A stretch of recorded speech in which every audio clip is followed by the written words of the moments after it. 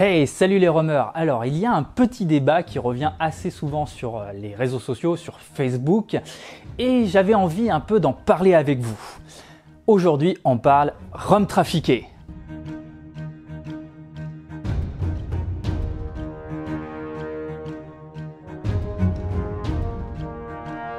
Salut, je m'appelle Régis Lapez et sur cette chaîne, je t'aide à prendre plus de plaisir avec un bon petit rhum. Si t'es pas abonné, fais-le.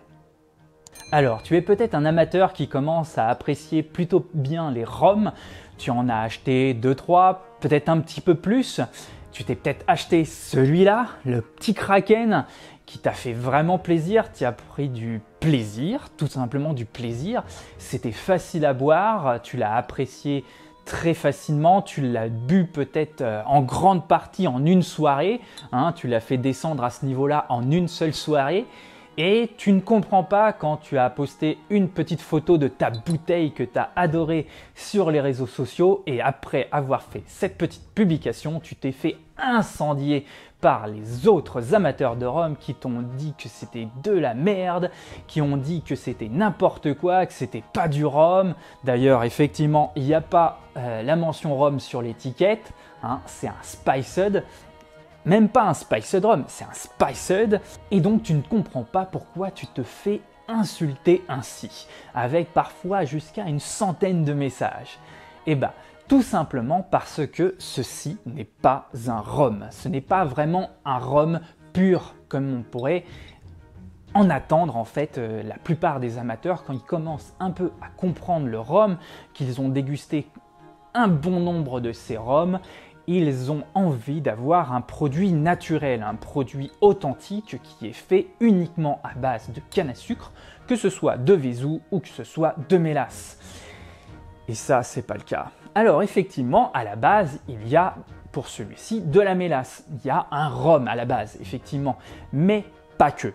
Il n'y a vraiment pas que ça. En fait, il est épicé, il y a sucre, pas mal de sucre, il y a de l'arôme de caramel, il y a des épices et tout cela fait qu'il y a un goût bien particulier, un goût artificiel et qui n'est pas le vrai goût du rhum qui aura vieilli dans du fût et qui aura naturellement acquis son aromatique. Voilà, quand, on commence à avoir un petit peu de bouteille, que l'on a dégusté au moins une dizaine de rhums, voire quand même plus, on a le palais qui euh, commence à se faire à cette puissance en bouche, euh, aux esters, et on a envie d'avoir quelque chose qui a du caractère, on veut euh, apprécier des choses qui ont plus de complexité, essayer de détecter les aromatiques différentes, le boisé, le fruité, et on veut quelque chose qui soit authentique pas quelque chose qui soit comme ça, où tous les arômes que vous allez déguster dans ces deux rhums sont des arômes qui ont été qui sont artificiels, qui ont été ajoutés par le, fabricant et qui donc ne sont pas la caractéristique du produit primaire. Alors la question qui va se poser, c'est comment on fait pour éviter justement euh, bah, d'acheter ce genre de rhum et euh, de se voir avec cette déconvenue ou peut-être s'améliorer et avoir quelque chose de meilleur. La première étape, c'est de savoir lire une étiquette. Sur des rhums comme ça, on va avoir pas mal d'informations qui vont euh, donner envie. On a le 40 degrés d'alcool, donc c'est euh, la norme, le minimum pour un rhum. On a marqué 10 ans d'âge. Ah, putain, 10 ans d'âge, euh, ça fait sympa. Hein. ça commence à être un rhum vieux, très intéressant. Et quand on va lire l'étiquette à l'arrière, on va essayer de voir un peu s'il y a des informations complémentaires. On a une indication sur comment est fait, euh, d'où il vient en fait, de Colombie, etc. Mais on n'a pas plus d'informations que ça en fait sur ce rhum. Euh, ce qui est la complexité en fait avec les rhums, c'est qu'on n'a pas un descriptif total de tous les ingrédients qui ont été utilisés pour sa fabrication. Donc c'est pas avec ça qu'en fait on va pouvoir vraiment savoir euh, ce qu'il y a dedans. Surtout que par exemple sur ce genre de rhum par exemple, euh, ce sont des blends, c'est-à-dire que c'est un mélange de plusieurs rhums. Et peut-être que euh, par exemple effectivement pour qu'il y ait du 10 ans d'âge dedans, effectivement il y aura certainement du 10 ans d'âge dedans, mais peut-être que 10%, voire moins. Et, ils vont quand même mettre la mention 10 ans d'âge parce que bah, c'est le plus grand rhum qu'il y a dedans et pour faire du marketing tout simplement. C'est la même chose pour ici tout le marketing est dans la bouteille. La bouteille, elle fait vraiment super sympa. Elle a une super belle étiquette. Avec les petites anses, ça fait euh, vintage. C'est vraiment classe. Dans un, bar, ça fait vraiment classe. Donc, euh, on a vraiment envie de l'acheter, tout simplement parce que la bouteille est belle. Elle fait envie. Mais pourtant, bah, ce qu'il y a à l'intérieur, eh bah, c'est un rhum qui a été complètement fabriqué. On ne sait même pas c'est quoi le rhum de base euh, qu'il y a dedans. Comment on va réussir à faire en sorte de lire une étiquette et d'avoir des informations utiles? Eh bien tout simplement, on va chercher des mentions complémentaires. Alors par exemple, un moyen assez facile de savoir si le rhum est bon et qu'il ne sera pas trafiqué, c'est qu'il y ait la mention agricole. Alors bien sûr, c'est pour les rhums pur jus, mais cette mention indique qu'il y a quasiment il y a très peu de chances qu'un rhum agricole soit trafiqué.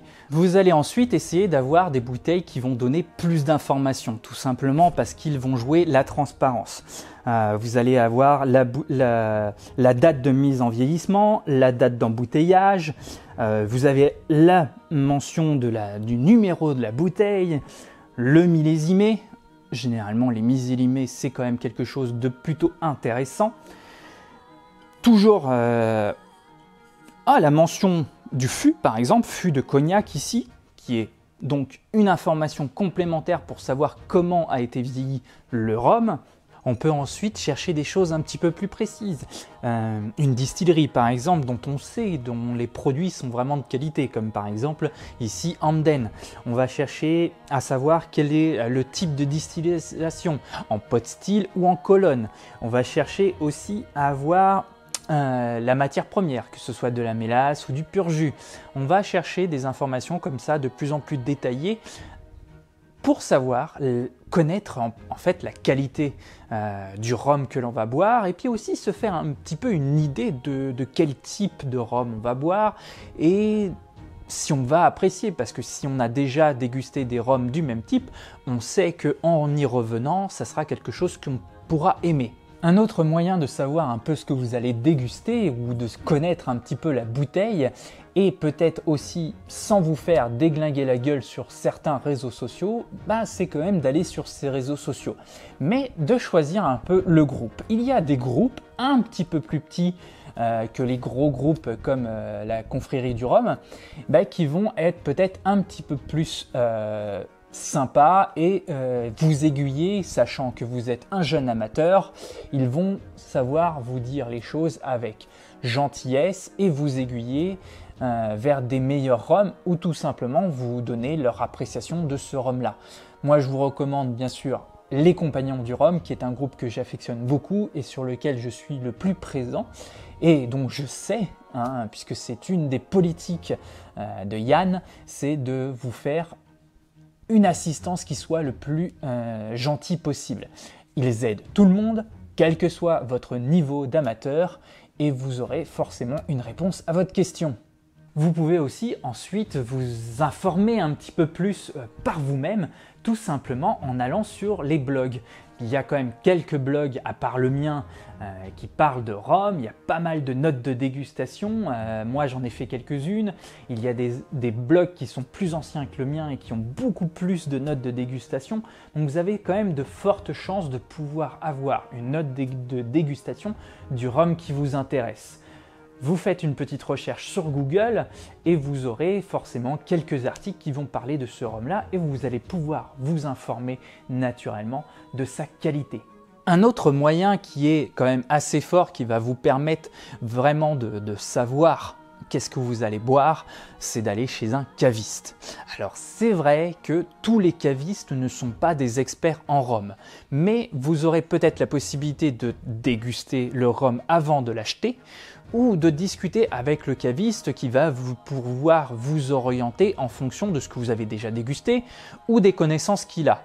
Euh, si vous euh, avez la possibilité d'aller chez un caviste et qu'il vous recommande de boire un diplomatico ou un kraken, c'est qu'il a de fortes chances de pas vraiment s'y connaître en rhum, passez votre chemin. Mais il y a quand même des bons cavistes. Il y a des bons cavistes qui ne cherchent pas qu'à faire du fric avec euh, les rhums. Donc, cherchez un bon caviste. Moi, je vous conseille l'adresse gourmande à Clé-sous-Bois. C'est franchement le meilleur que je connaisse et vous aurez forcément quelqu'un qui sera à votre écoute, qui aura des conseils avisés et qui, en plus de pouvoir vous conseiller des rhums qui vont vous plaire, sera aussi force de proposition pour vous faire découvrir des choses étonnantes. Alors bien sûr, il y a la question de bah, j'ai acheté mon rhum en grande surface, euh, je l'ai goûté, euh, franchement je suis pas super fan, super fan. Comment je fais? Ah, J'ai pas beaucoup de solutions ici comme ça. Hein. vous pouvez voir que j'ai encore du Kraken euh, qui euh, ne finit jamais. Euh, j'ai un dictator que l'on m'a offert. je l'ai bu, j'ai commencé à le boire quand j'ai commencé dans le rhum. Et bah, ça fait deux ans que le niveau n'a pas bougé. C'est des choses qui, c'est des petites bouteilles que vous allez avoir chez vous. Vous pouvez peut-être essayer de les faire déguster à des invités. Euh, c'est quand même, même si c'est pas des rhums exceptionnels, même si c'est des faux rhums, c'est quand même des rhums accessibles. C'est des rhums faciles à boire, c'est des entrées de, ça vous permet d'entrer dans le rhum et il y a beaucoup, beaucoup d'amateurs de rhum qui rentrent dans cet univers avec ces rhums là. Donc, vous pouvez initier des jeunes amateurs qui n'ont pas forcément le palais adéquat pour aller euh, sur des rhums de ce type-là, qui vont tout de suite euh, rien connaître, vous dire ah ça sent trop l'alcool, ah ça, sent l'essence, etc. Et qui vous diront ah j'aime pas. Plutôt leur faire déguster des rhums comme ceux-ci, qui sont vraiment sur le caramel, sucré, euh, avec des aromatiques faciles à découvrir et qui apprécieront plus facilement. Et donc, comme ils apprécient plus facilement, ils reviendront, se feront le palais et ensuite, avec le temps, pourront ensuite passer à des rhums de meilleure qualité.